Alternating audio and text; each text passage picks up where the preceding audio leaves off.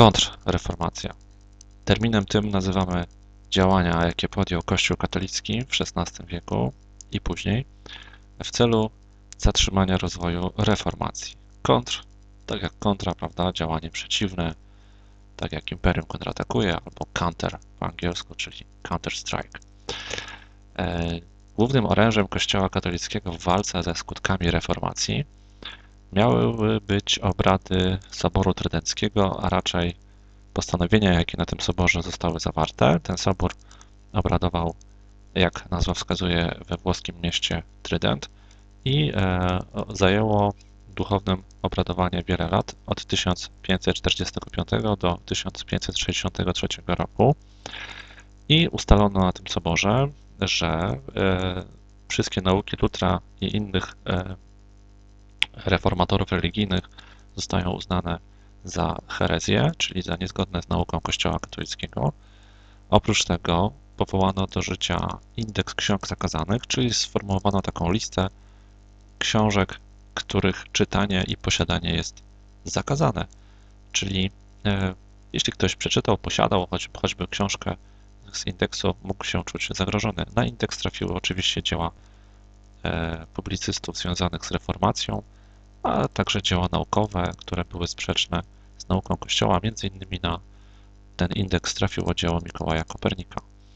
Oprócz tego odnowiono mm, inkwizycję, czyli taką instytucję, która miała na celu zwalczanie heretyków, zwalczanie herezji. E, I tutaj ta inkwizycja miała znowu zacząć e, działać, znowu dlatego, że wcześniej działała e, w epoce średniowiecza. Oprócz tego Kościół popatrzył też na, na, na siebie i dostrzegł pewne mankamenty, które postanowił zmienić. Nastąpiła reforma duchowieństwa, czyli księżom nakazano prowadzenie ksiąg parafialnych, nakazano, aby księża byli obecni w swoich parafiach, a nie e, szwendali się po całym świecie. E, utworzono szkoły parafialne przy parafiach, gdzie kształcono młodzież e, w duchu nauki katolickiej, po to, żeby przeciwstawić się tym, co mówiono w szkołach zakładanych przez protestantów. Oprócz tego utworzono jeszcze przed soborem, jak widzimy w 1539 roku, utworzono zakon jezuitów. Twórcą tego zakonu był Ignacy Loyola, Towarzystwo Jezusowe. Ten zakon miał na celu pozyskiwanie nowych wiernych dla Kościoła katolickiego, ponieważ wielu Europejczyków przestało być katolikami w XVI wieku, dlatego że wybrali nowe wyznania protestanckie, no to trzeba było pozyskać nowych wyznawców i zakon jezuitów ich pozyskiwał E, poza Europą również, między innymi w Ameryce Południowej. No, symbolem e, zakonu jezuitów jest monogram Chrystusa, czyli tutaj to, co widzimy e, po lewej stronie. Zakonnicy dosyć kontrowersyjni, dlatego że dokonali wielu rzeczy złych z punktu widzenia Indian. Oskarża się ich o zniszczenie kultur kultur prekolumbijskich, e, dorobku tych e, cywilizacji prekolumbijskich. E, zakonnicy ubierali się zwykle na czarno, potem można ich rozróżnić od innych zakonów. Oprócz tego powstały, powstał jeszcze zakon pijarów wówczas. On również miał na celu umocnienie pozycji Kościoła katolickiego. Utworzono funkcję nuncjusza papieskiego. Nuncjusz miał być przedstawicielem papieża E, w kraju konkretnym, czyli w każdym państwie europejskim miał się pojawić specjalny wysłannik papieża, czyli nuncjusz.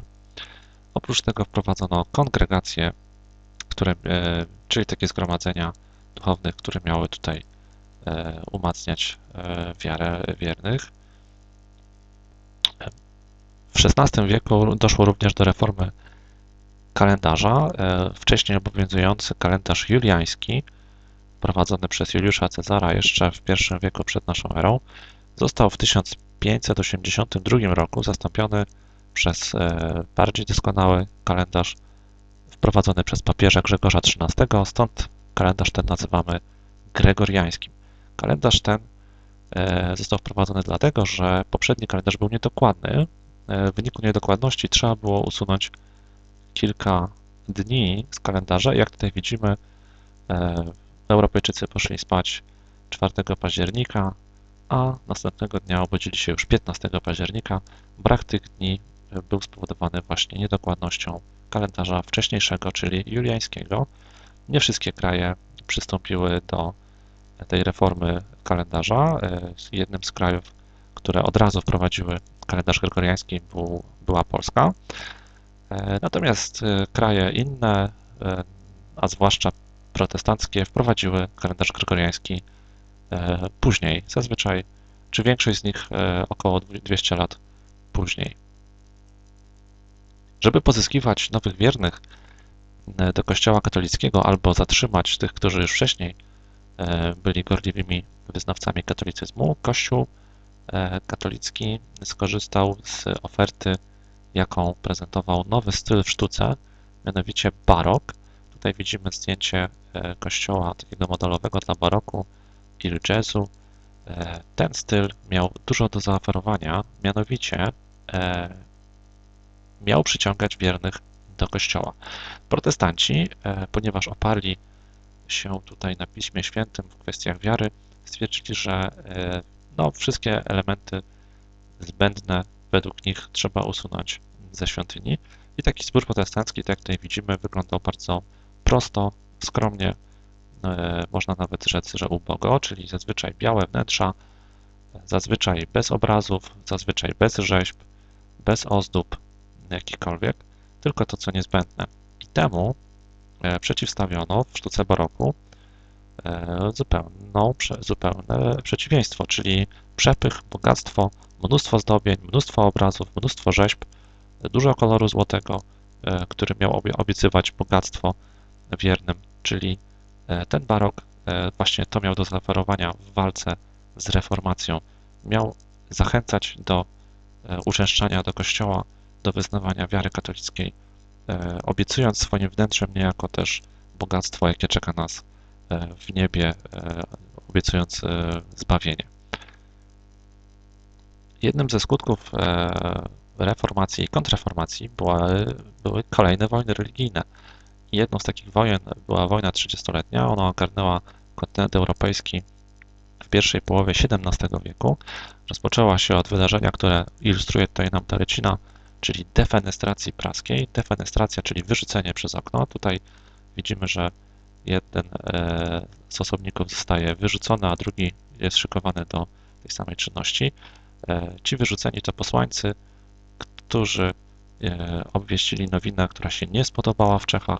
Ta nowina to, było, to, to była próba narzucenia Czechom religii katolickiej. Czesi nie chcieli tej religii, woleli protestancką to, e, to wydarzenie rozpoczęło 30-letni konflikt. Podczas tego konfliktu starły się ze sobą dwa obozy e, militarne. Pierwszy z nich wywodził się z powstałej jeszcze przed wojną 30-letnią Unii Protestanckiej. To były takie kraje jak Dania, Szwecja, do nich przystąpiły później katolicka, co ciekawe, Francja oraz Brandenburgia. Francja, mimo że była katolicka, walczyła po stronie protestantów, dlatego że chciała doprowadzić do osłabienia rywala swojego, mianowicie Habsburgów, e, a Habsburgowie rządzili wówczas e, w Austrii, w Hiszpanii i Austria i Hiszpania e, to, to były państwa, które stanowiły Ligę Katolicką, oczywiście jeszcze ich sojusznicy, między innymi niektóre kraje Rzeszy Niemieckiej. Rzeczpospolita wówczas nie była oficjalnie członkiem Ligi, natomiast wspierała działania katolików w tym konflikcie. Jak to wyglądało e, na mapie? Zobaczmy podział tych dwóch sojuszy militarnych. Widzimy koalicję habsburską i państwa, które wspierają tą koalicję habsburską. To są te, te dwa kolory na mapie, e, czyli to jest ta Liga Katolicka i e, kolor kolejny to są państwa, które nie wspierały katolicyzmu, stały po stronie protestantyzmu czyli przeciwnicy Ligi Katolickiej oraz jeszcze kraje, które zmieniały tutaj swoje sojusze podczas wojny. Wojna ta doprowadziła do wyniszczenia gospodarczego Europy i utrwaliła podział w Europie na wiele lat. E, tak naprawdę była też dowodem na to, że ciągle trudno się dogadać Europejczykom w kwestii e, tolerancji religijnej.